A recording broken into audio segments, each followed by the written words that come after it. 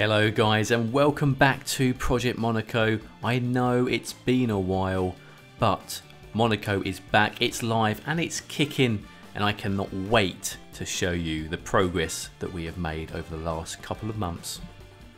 But before we move too much into this episode, let's have a recap of what we did last time.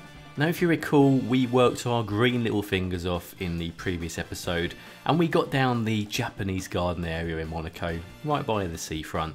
And boy, this was a very different type of episode for Monaco. We haven't really done anything like this so far and that's what I loved about Monaco, the fact it has so many different types of areas.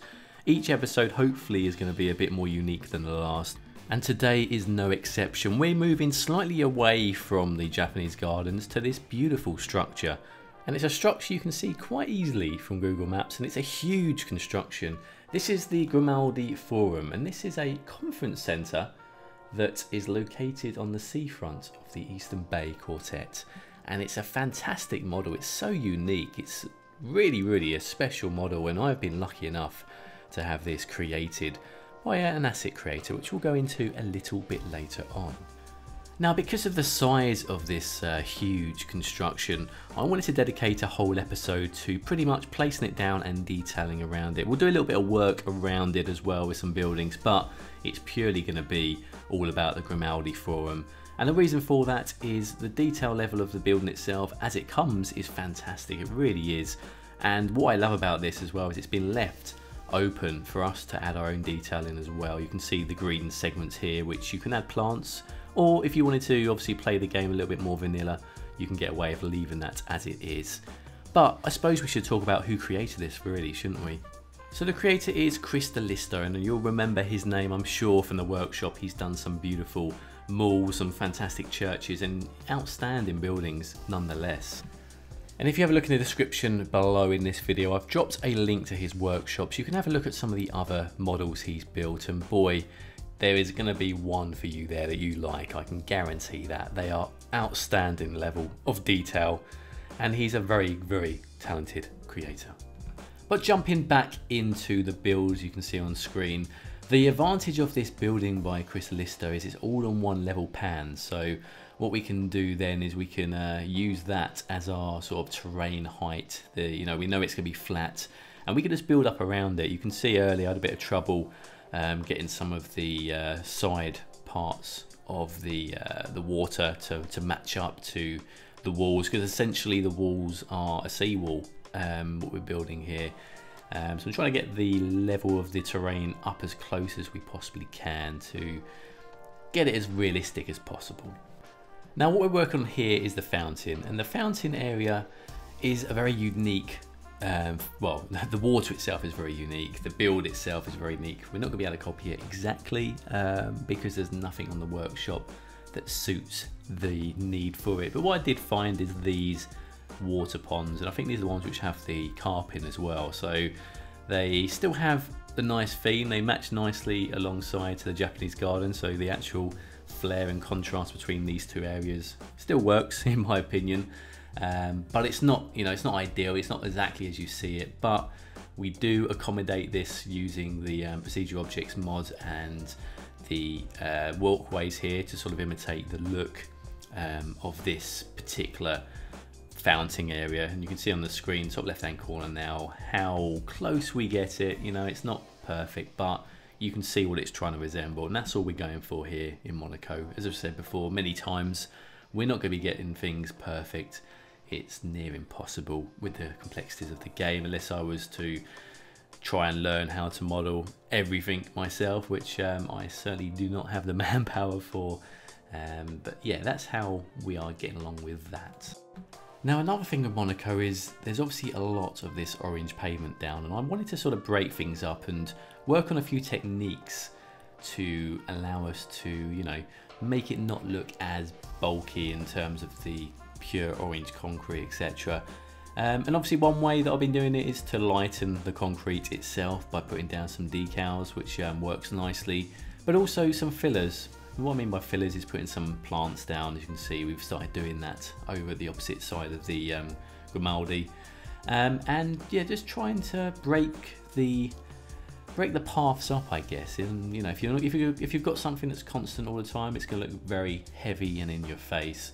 So adding a few little things to break up the repetition um, really does help when it comes to making things firstly look more realistic, but secondly to make things look like they're more coming to life, which is the idea behind the whole build itself. The whole reason we play City Skylines is to create something wonderful and also having that realism in there does help. We're not building paintings here, we're building things that actually do things and you know having the traffic and people walking around and especially when you're building these locations that should be bringing in tourists. Once you get people to come and you see people walking around it really does give you a massive buzz. Well i mean it does does to me anyway um, because it feels realistic. You know you've got people walking around things. And one of the great things about the, uh, the model that Cristolisto done is the section by the glass front is actually walkable for pedestrians as well. So the plan will be to put some sort of events generator there to allow people to walk on top of that section because that's kind of one of the main entrances in.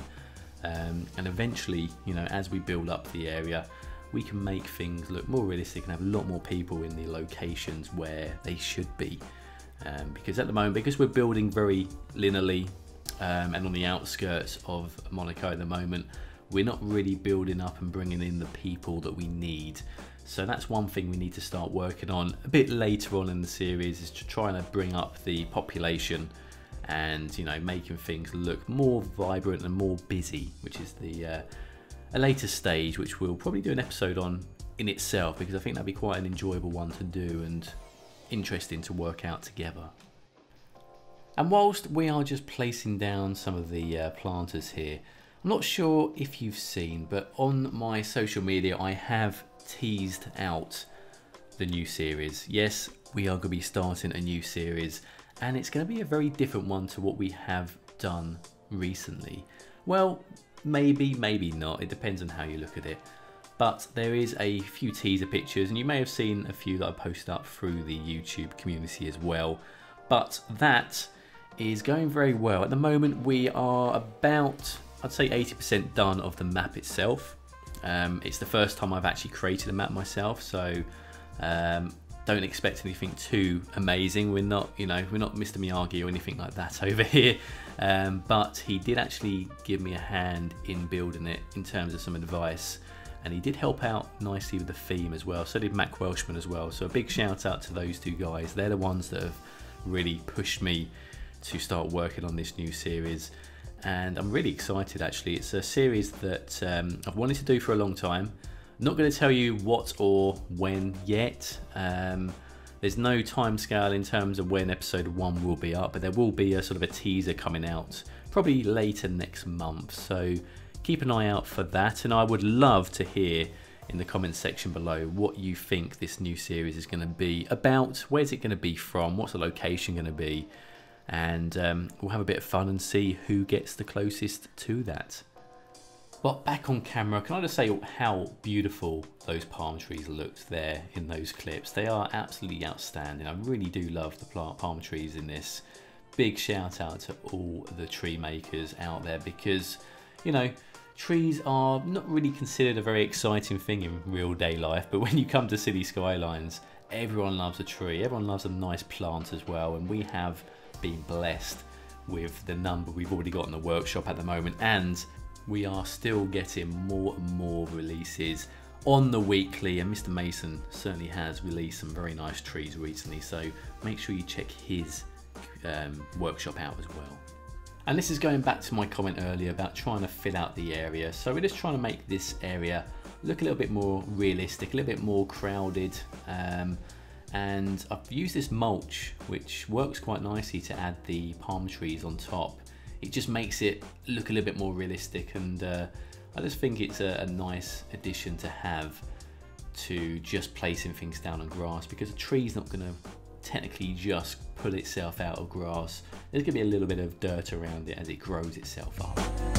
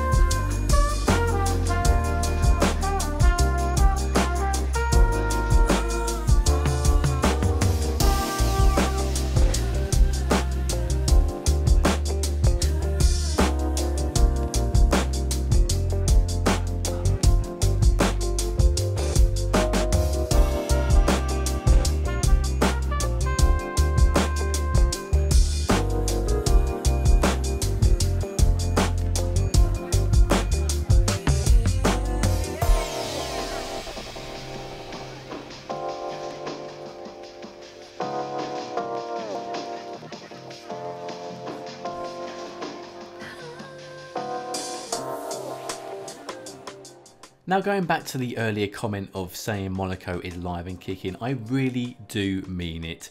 Monaco has been a project of mine for well over a year now and it's one that I'm really fulfilled to try and complete at some point this year or at least get the majority of things down. And to keep me going, keep me active, I've decided I'm going to try and do an episode once every two weeks. And we may think that's not much, but Monaco does take a lot of time when building. A lot more than it would do if I was doing something a little bit more creative. And talking of that creative, I'm going to be bringing in the new series as well. So I'm hoping to have a video once a week, if possible, in alternating the two around. So one week it'll be Monaco, the next week it will be the new series and so on and so forth. And what I'm also going to do as well is I'm going to push out my Patreon a bit more. For you guys that want to support me, we've already got a couple involved. You can do so and I'm going to utilize that by releasing videos early and I'm going to be putting episode 19 up right now. So if you want to see that guys, you can do. You can see it's a whole two weeks early. But what I probably will do is perhaps have the newest video up a week after the latest one is released publicly. So at least you've got a week ahead or maybe a few days. I'm not too sure how that will pan out just yet, but we will utilize it. And not only that, it's not just for my benefit, it's for yours because it's going to really push me to keep the videos flowing because I don't want to let you guys down. If I've got some patrons paying to see the next episode before it's going to really push me to excel and uh, yeah keep the the product production line I guess so to speak of Monaco going. So do that. And also I will be doing a lot more streaming.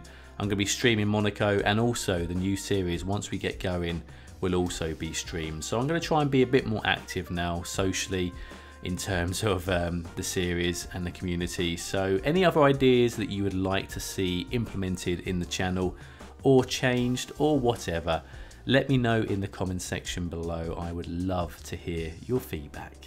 But anyway, there goes the promotional blurb. We'll um, leave that for another few months anyway. Um, so getting back into the build, you'll see I did a lot of work on the roads here. And we're trying to imitate the underground parking here by using some of the uh, underground tunnels. Um, and eventually what I'm thinking is I'm gonna, rather than keep them as just blanks as sort of aesthetical things. In the end, I think I'm just to create some crazy road network um, to connect all these up because then we're to see traffic go through them to make things look more realistic. Um, and I think that'd be pretty cool actually, a good idea to do rather than just have them as, you know, nothing, so to speak. We can then do that and uh, make the whole area come to life. And one thing I really have improved in when it comes to new mods is the network mod pack. Um, I can now use it a lot easier and I think it's just learning from all the mistakes I've made over the uh, the previous times and really understanding the best way to utilize this amazing mod. And one of which is, as you would have seen at the start of this construction, was the fact I pretty much just zigzagged a number of um, lines from the network pack um, which then allows me to move things around quickly rather than doing one bit here and add it onto it after. Um, this way just seemed to work a lot easier for me and it's just a lot quicker I find um, to be able to do that and you can you can really do that very quickly.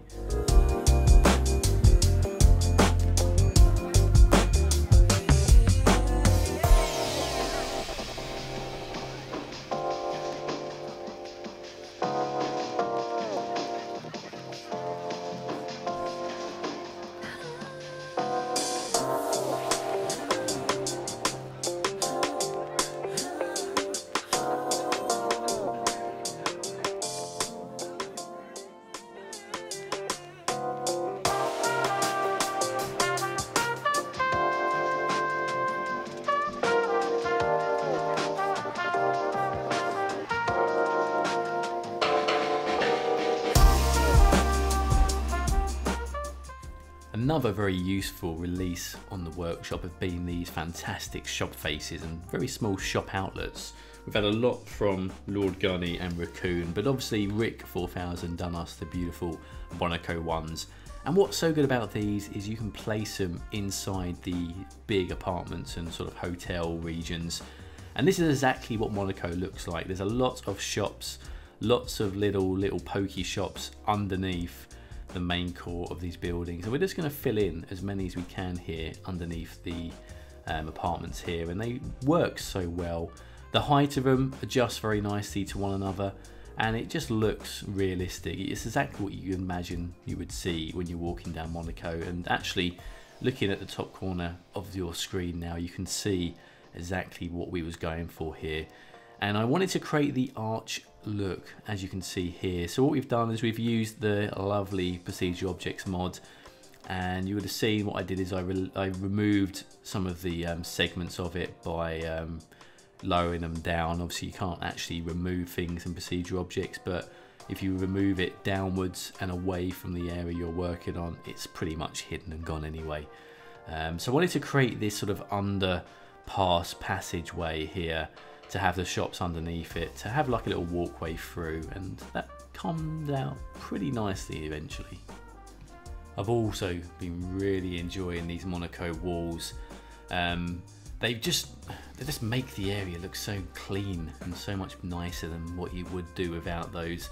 Obviously the downside that we have to the um, default bridges and road networks is they don't really have a very nice appeal um, around it and using the Monaco walls you can pretty much fill out these gaps and make things look much cleaner and uh, a lot more realistic in my opinion so you can see here we can use the, um, the move it tool just to um, adjust the look of this and height and basically fill in that gap which uh, looks really nice. It just looks better and there's going to be a lot of occasions where that's going to be happening in Monaco because the terrain is so uneven and uh, uh, it's just going to help. And again, that's another thing that I love about the game itself. The fact that you have challenges along the way. It's not just a simple um, drop and play sort of game. I mean, you can play it like that vanilla, but when you're detailing and when you're giving yourself these challenges by building on rocky terrain and uh, uneven surfaces, you have to use your imagination. Not only do bushes cover those gaps up, which is what we've used um, in the earlier days, you can place down all sorts of stuff now that just add to the realism and fills in those so-called nasty gaps.